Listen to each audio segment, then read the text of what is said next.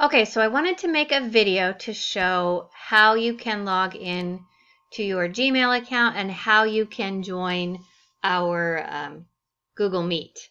So I've just gone, this is the home screen for the screen recorder, but um, I've logged out of all other Gmail accounts.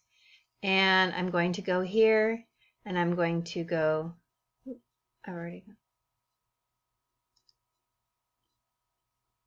add it in there.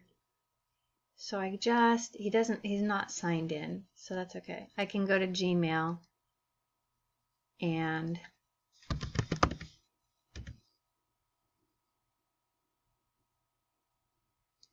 log in. And I'm going to use a student account so that you can see.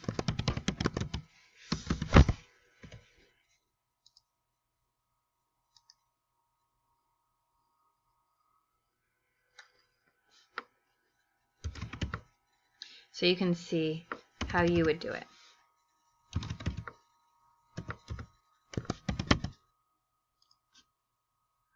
We can all see what the student one looks like.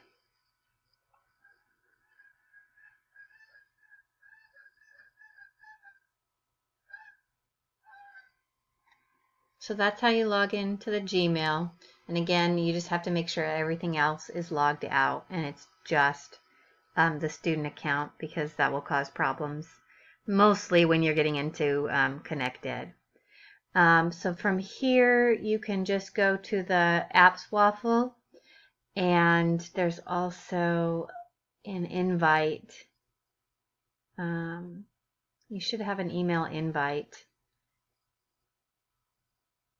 but I can't see it right now in all these. So I'm just going to go up here and I'm going to go to Meet.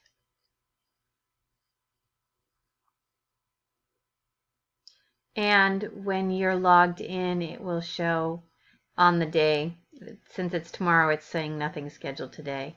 It will show a meeting that is scheduled here because you're logged into your student account. And then you just click that meeting and it will um, log you in and then you can see us and hear us and join in our discussion for um, learning. So this is what it's going to look like, and that's how you get to it. And I hope to see you tomorrow at 1 o'clock. Thanks.